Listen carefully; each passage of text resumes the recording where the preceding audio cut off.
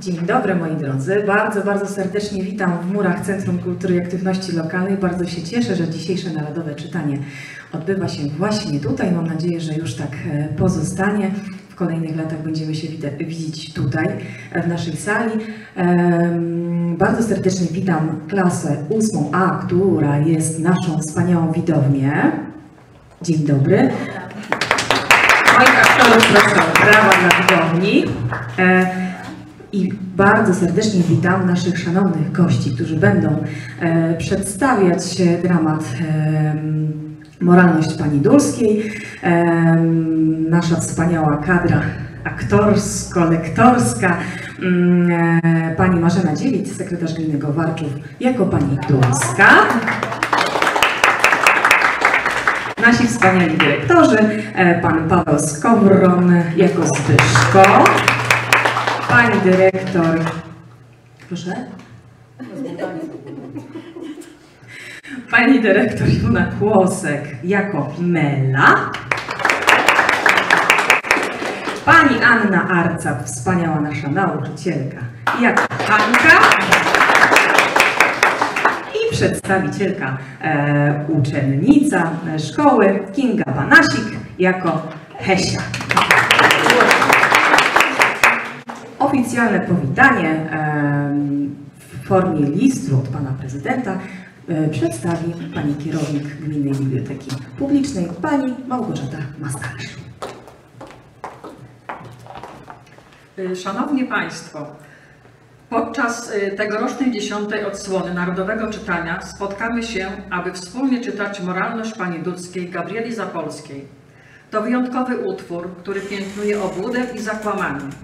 Odnajdujemy w nim komis i gorzką ironię, mistrzowskie odmalowanie postaci i wyczucie języka, ale przede wszystkim uniwersalne przesłanie moralne, które w imię uczciwości i sprawiedliwości każe potępiać zło.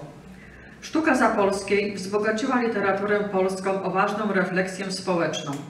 Pojęcie dulszczyzna weszło na trwałe do języka potocznego i na przestrzeni epok było różnie interpretowane, stając się przedmiotem żywych dyskusji. Wszystko to sprawia, że dramat ten od ponad 100 lat cieszy się niesłabnącym powodzeniem. Dowodem tego są także jego liczne inscenizacje teatralne oraz udane adaptacje telewizyjne i filmowe.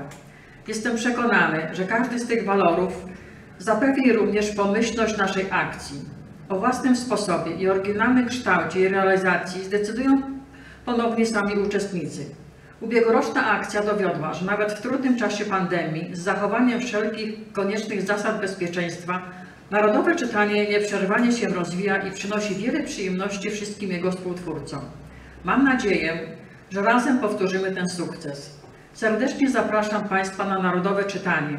Zjednoczymy się tego dnia wokół nieprzymijających wartości naszego literackiego kanonu, aby czerpać radość z bycia razem przy wspólnej lekturze.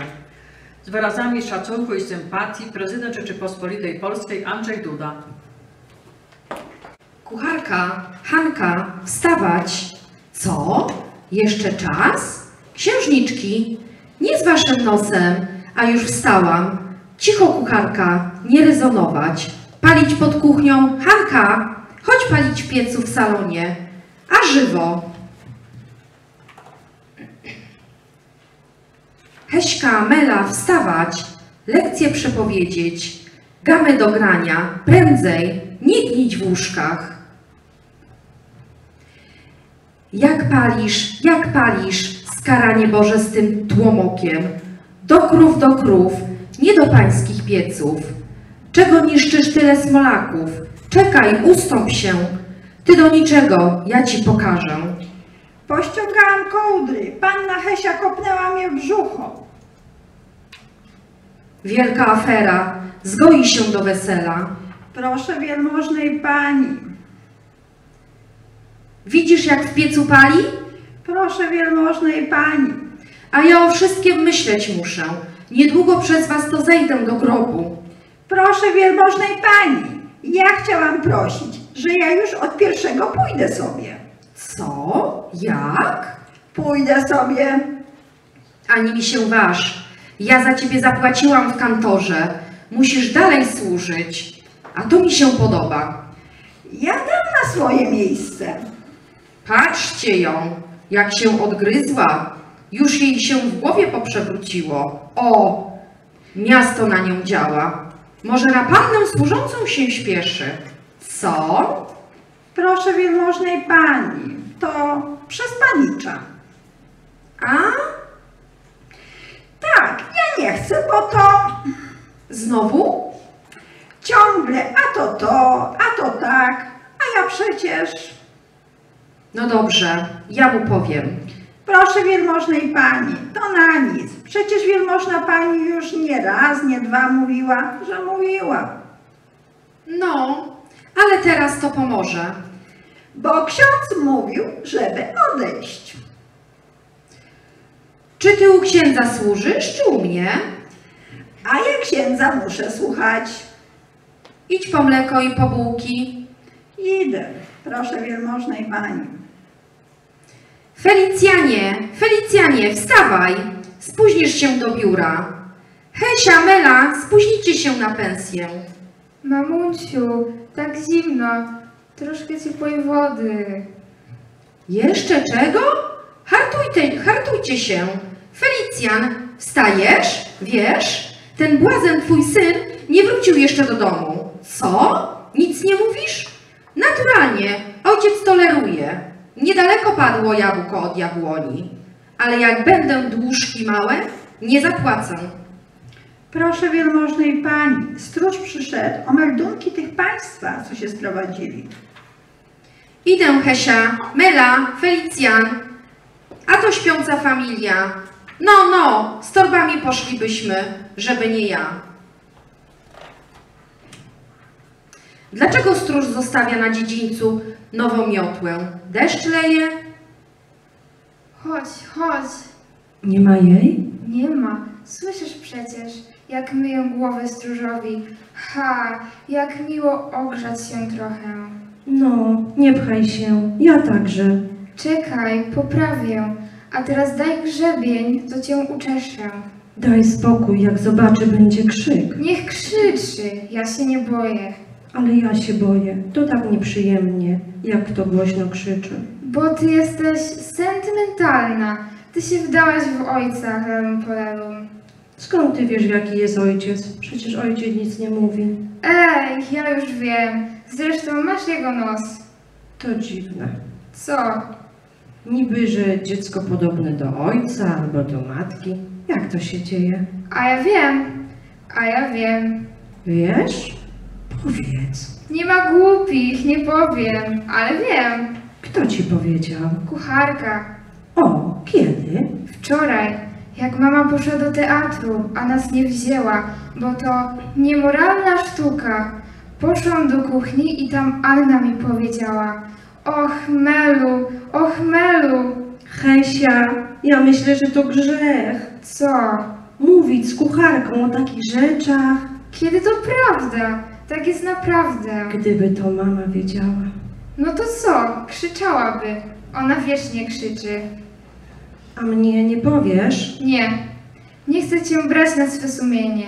Nie gorsz malutkich. No, zrób teraz ze mnie dziewczę z czarną kosą z podwiejskiej strzechy. To nie kręć się. Wiesz, Zbyszko znów poszedł na lumpkę. Nie ma go? Nie ma. Coś bym ci powiedziała, ale przysięgnij się, że nikomu nie powiesz. Nachyl się. Zbyszko lata za Hanką. Po co? E, bo ty, co z tobą gadać? No powiedz sama, czy można z tobą gadać? No, bo mówisz, że lata. No lata, czy zaczepia, czy kocha się, czy jak? Och, Hesiu, Zbyszko? No co, nie byłaś na halce? Nie wiesz, jak to się dzieje? Panicz, no i nieszczęsna halka gwałtem tu idzie. Ale to na scenie. Potem to było wtedy, jak takie kontusze nosili. Ale Zbyszko, och, Hesiu. O, Hanka, ja się jej zapytam, zobaczysz, czy ja kłamię.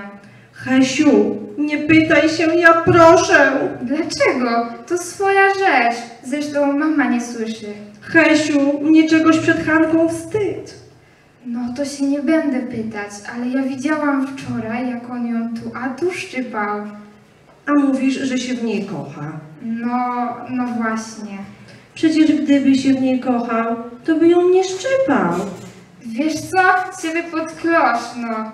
No, Za co, Hesiu, pod klos? za twoją głupotę. Ach, chciałabym wiedzieć, gdzie ten Zbyszko tak nocami chodzi. Może do parku na spacer. Teraz tak ładnie. Głupia jesteś. Hanka, nie wiesz ty, gdzie tak panowie po nocach chodzą? Skądże ja? No tak, jak pan Zbyszko, do rana prawie co dzień. A no musi gdzieś ci. Pytałam się go, mówił na lumpkę, a kucharka śmiała się także i mówiła, że do nocnych kawiarni. Ach Boże, kiedy ja już się naprawdę czegoś porządnie dowiem, kiedy ja już będę duża, kiedy nie będzie przede mną tajemnic. A ja tak wolę. Co? Nie wiedzieć o niczym. To tak jakoś miło. Ja wolę nic nie wiedzieć. Tuman. Czego wy tu? Co to? Ubierać się. Hanka sprzątać. Mela gamy. Felicjanie. Zostań jeszcze, już wicher przyleciał. Felicjanie. Hesiu. Co? Rodzicielka. E, przysądy. Hesiu, patrz, Hanka się śmieje. No to co? Nie się śmieje. Cóż, to ja nie mam własnego sądu? Czego się śmiejesz, idiotko? Sprzątaj! Albo czekaj. Byłaś kiedyś w nocnej kawiarni? I panienka też. Ja nawet nie wiem, gdzie to jest. Boś głupia. Kucharka była, jak była młoda. Mówi, że tam panowie siedzą, piją likiery i że tam bardzo wesoło. Kucharka mówiła, że tam są młode, ładne panny i że... Cicho, Hesia, jeszcze mama usłyszy. Idź, idź. To nie dlatego, że mama, tylko że ty nie chcesz, żeby ci się w głowie rozświetliło. Mówiłam ci, wolę nie wiedzieć. Przed chwilą się sama pytałaś. O co? O te dzieci. To co innego. Dlaczego? Bo tamto o dzieciach to ciekawe, a to brzydkie. Wcale nie. To jeszcze ciekawsze. Może być, ale mnie to zaraz potem smutno. O, idzie lump. Gdzie byłeś? Gdzie byłeś? Poszła. Gdzie byłeś? Lumpowałeś się. Mój złoty, powiedz, powiedz. Ja nic nie powiem mamie. Poszła. Ładnie się wyrażasz, nie powiesz. A ja wiem, w nocnej kawiarni byłeś, likiery piłeś, ładne panny były, tak ładnie śmierdzisz cygarami. Uuu, jak ja to lubię. Mówię ci, poszła. Hesiu, daj spokój. Tak? To tak ze mną? Poczekaj, ja też dorosnę, ja też pójdę na lumpę, ja też będę chodziła po kawiarniach i będę pić likiery po nocnych kawiarniach. Jak ty, jak ty. Ładna edukacja. Ślicznie się zapowiadasz. A teraz, żeby cię nauczyć grzeczności w kole rodzinnym. Mamciu, mamciu, Zbyszko powrócił. Cicho bądź. Jesteś? Jestem i znikam. Idę się przespać przed biurem. Nie, zostaniesz tu. Mam z tobą do pomówienia. A, lecę z nóg. Wierzę. Proszę iść się ubrać. Mela do gam. Już nie mam czasu. Pięciopalcówki. Na to starczy. Hesia znów podarła kalosze. Nie ma tu gdzie czarnej kawy? Nie ma, mój panie. Hesia nic nie szanuje. Nigdy z ciebie nie będzie kobieta jak należy. Nie ma czarnej kawy w tym zakładzie? Gdzie byłeś? He. Gdzie byłeś do tej pory? Gdybym mam ci powiedział, to by mamcia tak skakała. O, Najlepiej więc nie pytać. jestem matką. Właśnie dlatego. Muszę wiedzieć, na czym trwisz czas i zdrowie. Widzi mamcia, co mam pod nosem. Wąsy, a nie mleko, a więc...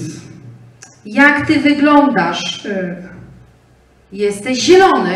to modny kolor. Mamcia kazała także balkony i okna pomalować na zielono. Która panna cię weźmie, jak będziesz tak wyglądał? Jeszcze gorszych biorą. Nie ma czarnej kawy w tym zakładzie?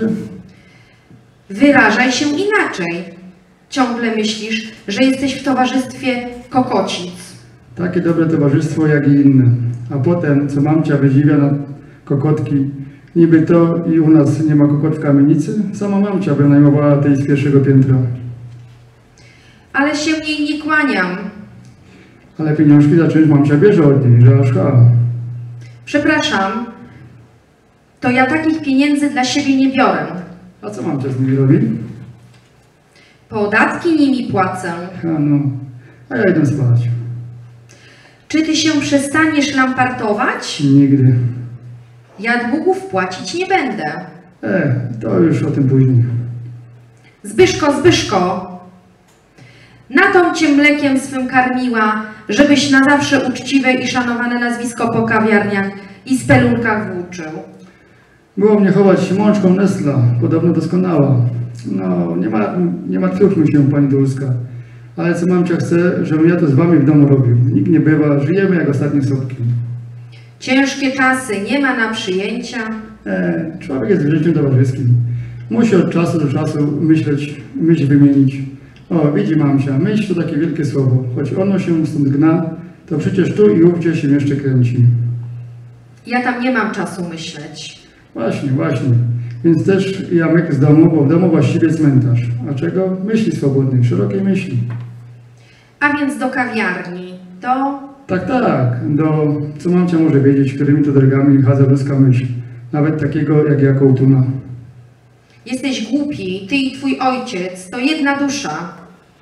On co dzień w cukierni, a ty Bóg wie gdzie. No wreszcie. Dzień dobry, ojcu. Dziś fasujesz? A uważaj, żebyś nie zgubił. Na co czekasz?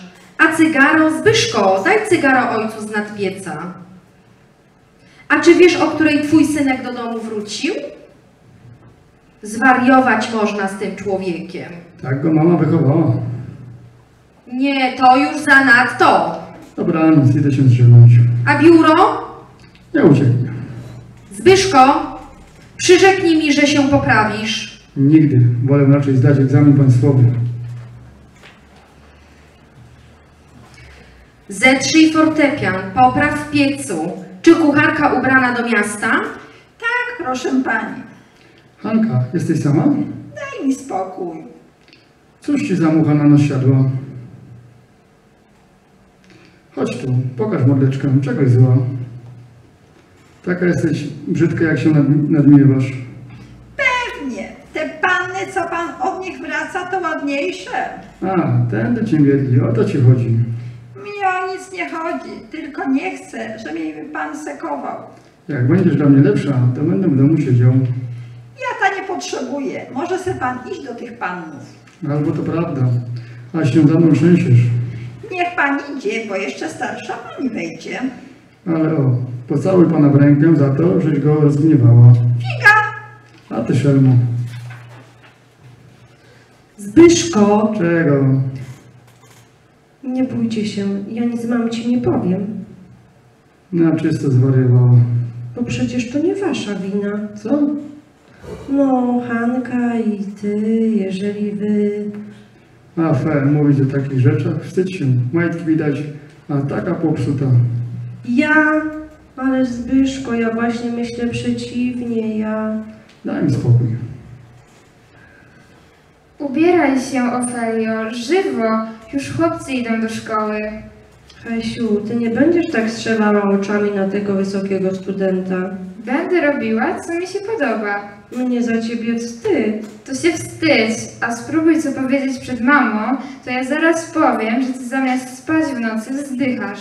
Mama się będzie za to więcej gniewała jak za studenta. To wątpię. Ale ja nie. Mama mnie zna i wie, że ja znam granice i że ja się nie zapomnę. Jak ty to rozumiesz? Ja już wiem, co mówię o Lejlo z pól rodzinnych.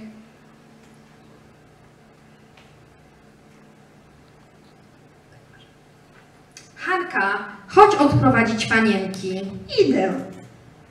Macie parasol? Iść prosto, nie oglądać się. Pamiętać, skromność, skarb dziewczęcia.